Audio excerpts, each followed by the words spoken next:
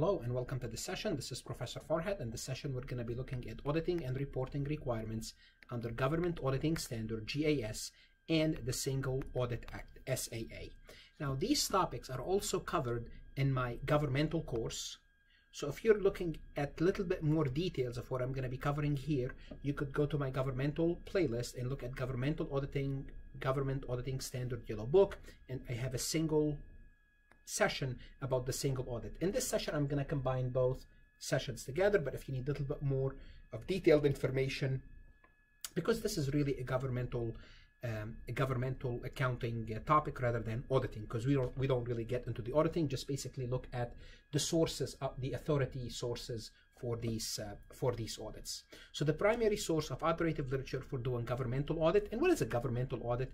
Basically when you audit a government basically is a school district a county um, a city a village a township this is a governmental audit. What do you have to follow? You have to follow the government auditing standard GAS, which is issued, who issued it? The Government Accountability Office, GAO. So basically, think of the GAO as the AICPA, and they issue those, they issue those standards. So for a private, for, for a company, what happened is the AICPA, and here we're not dealing about publicly traded companies, just just private companies. The AICPA is the organization that that issue the rules, and the rules are called GAAS, generally accepted auditing standard. For the government, the instead of the AICPA, we have GAO. Now remember, if it's a publicly traded company, they follow the PCAOB, which is different, the GEO, and they're called GAS. And we're going to see they're actually they're called GAS, actually they're called GAGAS. The standard are often called government accounting, government accepted Government Auditing Standard or GAGAS. So GAS, sometimes they're known by GAGAS. In case you heard GAGAS, Generally Accepted Government Auditing Standard is the same thing as GAS. Okay. Now, we the, the, rules are in a book called the Yellow Book. The reason it's called the Yellow Book because when it was issued initially, it, it has a yellow cover and it's still known by the Yellow Book. Yellow Yellow Book. Okay, because the cover of the book is yellow, and this book uh, existed since the 70s. There are many additions to it, but it's still a yellow book. Okay, so the initial yellow book was similar to GAS and is still similar to GAS, but it has been expanded to provide guidance standard for performance audit. So really, the yellow book, they said um, what initially uh, was similar to GAS, it's still similar to GAS. So everything that you learn under generally accepted accounting standard, you don't throw it outside the window when you do a government audit. You still use the same rules, exact same rules. Plus, you have to do some compliance.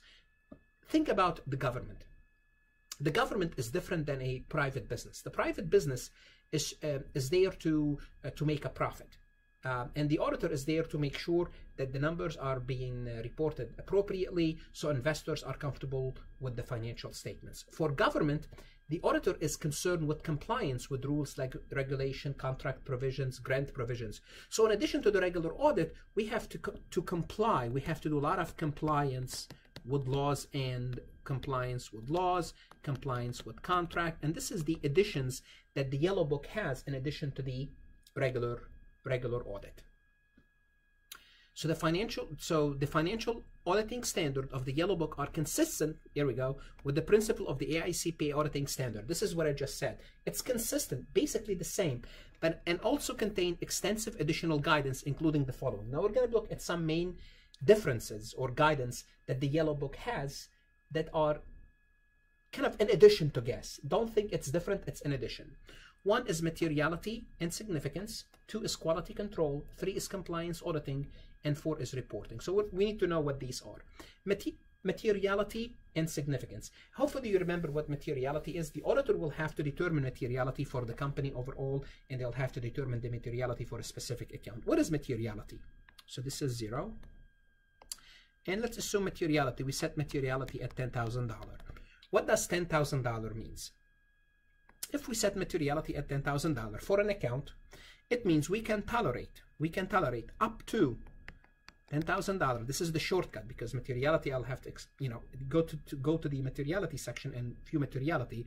Simply put, we can tolerate up to $10,000 in misstatement without coming to the conclusion that the account is misstated. So, so materiality is high. It means we can tolerate more, more, more errors. Why? many reasons. One, one, because we're sampling. Two, because maybe the account is not important in the grand scheme of things. So there are many reasons. Now, if we set materiality at, rather than 10, set materiality at 20,000, it means if we increase materiality, it means we tolerate more, we are willing to tolerate more mistakes without coming to the conclusion that the account is misstated. Now, on the other hand, if we reduce materiality to a thousand, it means we can only tolerate 1,000 worth of errors before coming to the conclusion that the account is misstated. What do you think government does? Do you think we lower materiality or we increase materiality? And the answer is we set low materiality, very close to zero. Why? Because the government whose money is it? It's the people's money. So we want to make sure, because of the sensitivity of public public accountability, uh, um, uh, materiality is very low. So we set lower materiality because we are dealing with people's money. Basically, the government is the people's money. So one thing, materiality, we set it low. Um, when you do government auditing, you have to have certain quality control. Now, all firms, we talked about this quality control in another session where they have to make sure their employees are trained. Um, as somebody is reviewing the work of the firm, somebody reviewing their paperwork, so on and so forth. Now, for if you are doing governmental auditing, you have to have specific quality control in addition to what you regu regularly have. So CPA must have appropriate system of internal control and participate in quality control review. Now, if you want to be part of the AICPA, you have to participate in the quality control review. Also, CPAs, I am a CPA, and every two years, biannually, I have to get 80 credits of continuous professional education. Now, if I am involved in governmental auditing, of those 80, 24 of them must be governmental related auditing. Why? Because they want to make sure that the auditor is familiar with the rules and regulation that the government undertake in their business so they can audit them. So those are basically quality control that you must have in case you are conducting a governmental audit. Compliance audit, this is important. As I told you, the government is is dealing with is is uh, is more concerned with compliance okay so the auditor can only provide still provide reasonable assurance of detecting material misstatement resulting from non-compliance. So remember, even though we are auditing for non-compliance, you are sampling, you may not be looking at everything, and even if you're looking at everything, you may still make mistakes. Therefore, you always say it's we are providing reasonable assurance, not absolute assurance, with provisions of contract or grants agreement that have direct effect on the financial statement. Although you are providing compliance auditing, you still cannot make an absolute statement. Now, in addition to this compliance, you are still auditing the financial statement according to generally accepted accounting principle. So you are still doing the financial audit, but in addition to the financial audit, you have to do the compliance audit. So the financial audit still exists.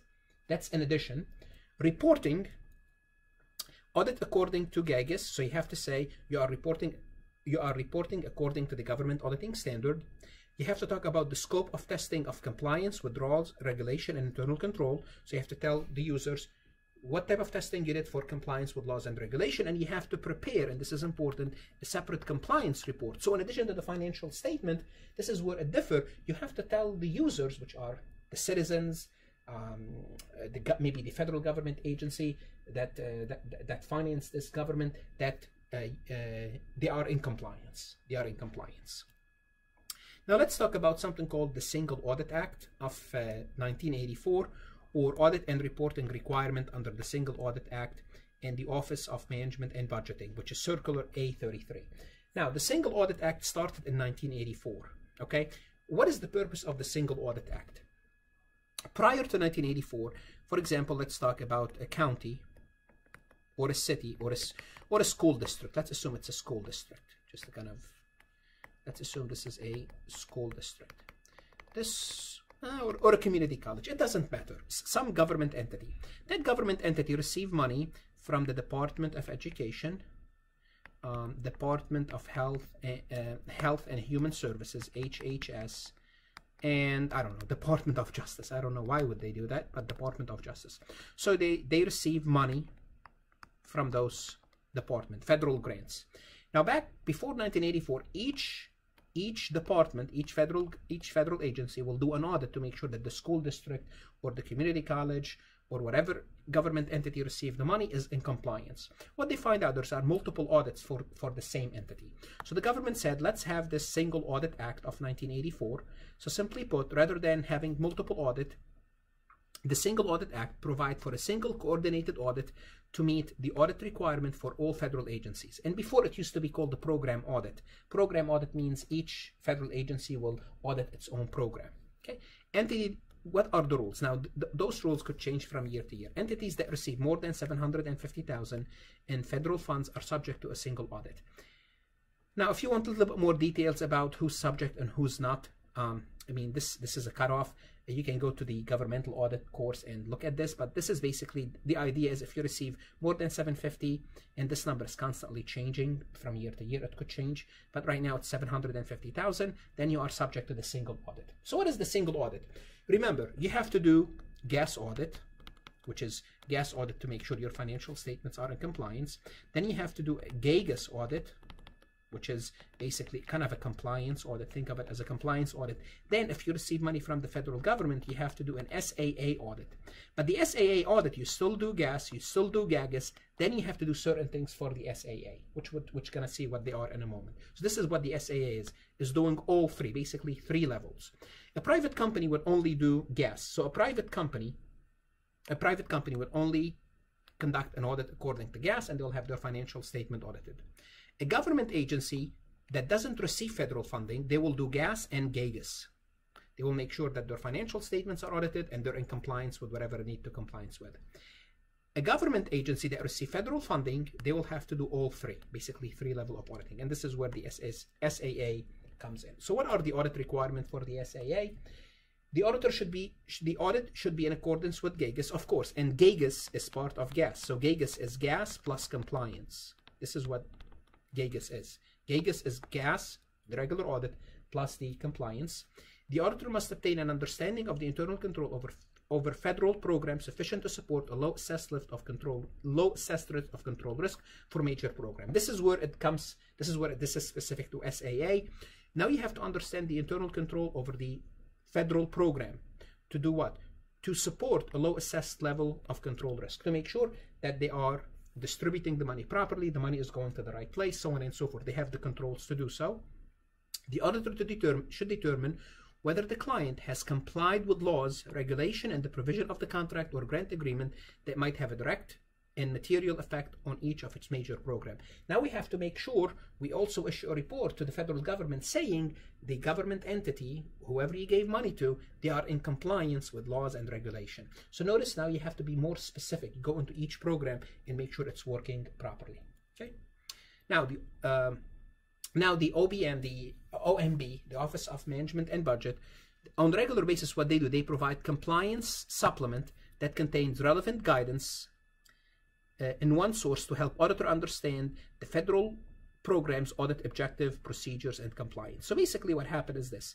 The Office of Management and Budget on regular basis, what they do is they give you additional guidance to, to help you audit those entities that receive money from the federal government. Okay, so in addition, it lists specific requirement for individual federal programs. If you live, if you if, if the government entity receive federal money, they will they will look for specific things. So let's look at some examples of what they look for specifically. And they're, they're kind of, in a sense, common sense, but this is not a comprehensive list. First, they want to know whether the amount reported as expenditure were allowable services.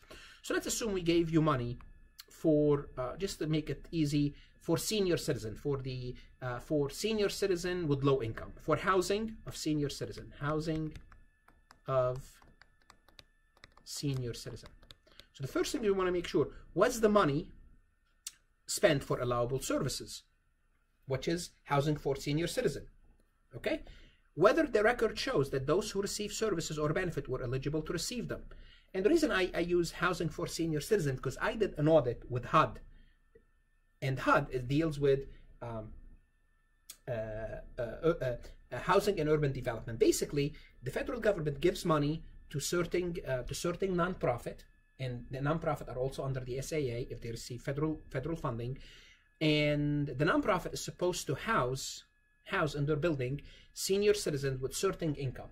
So what happens is here, here we have to make sure that the senior citizen who are receiving the service, who are getting the discount because the government is subsidizing part of their housing, are, indeed they are eligible. For example, um, as auditors, we look at their tax return, we look at their bank statement to make sure that they they qualify to live indoor low housing, uh, um, uh, low priced housing, and whether matching requirement, if there's any matching, level of effort and earmarking limitation were met. What is matching? For example, the federal government pays a certain amount, the state and the local will come up with a certain amount. We want to make sure that the matching requirement is is being met.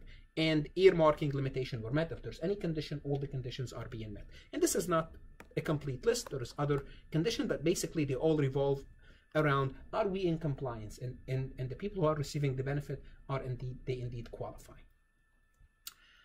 Uh, the Single Audit Act, more about the Single Audit Act. Now, what do we need to report under the Single Audit Act? We have to report an opinion whether the financial statements are presented with GAAP. As I told you, the first level is GAAP. So the first level, we have to do a GAS audit, just basically a regular GAS audit, to make sure it's in compliance with GAAP. Two, an opinion as whether the schedule of federal award is presented fairly and in all material respect in relationship to the financial statement as a whole. Again, we want to make sure the expenditure, basically the expenditure schedule, whatever money we spend, are in compliance. They are, they are, they are, we, we spent the money, we're supposed to spend the money. A report on internal control related to the financial statement and in major program, we want to make sure that also that also exists in the SAA. A report on compliance with rules and regulation and provision of contract or grant agreement where non-compliance could have a material effect on the financial statement. Also a report on compliance and a schedule of finding and question cost, if any. So notice, the SSA, SAA requires several reports because they want to make sure your financial statements are good, your internal control are good, you're in compliance with government auditing standard, you're in compliance with all the expenditure that you are supposed to dis distribute. And last but not least, the AICPA guidance for auditor. Two relevant sources are the AICPA audit guide, government auditing standard, and the single audit, and the auditing standard compliance. Those are additional guidance that the AICPA provide to auditors to help them audit um, governmental entities that are subject to the SAA. And this is basically a, a, short summary of governmental auditing standard and the SAA. If you have any questions, any comments, as I said at the beginning, you can go to my governmental auditing course. I go a little bit in details into what's considered a major program, non-major program. You don't need to know it for this course, just FYI. Uh, you can um, you can uh, learn about it over there. If you're studying for your CPA exam, as always, study hard it's worth it. And if you have any questions, email me or see me in class.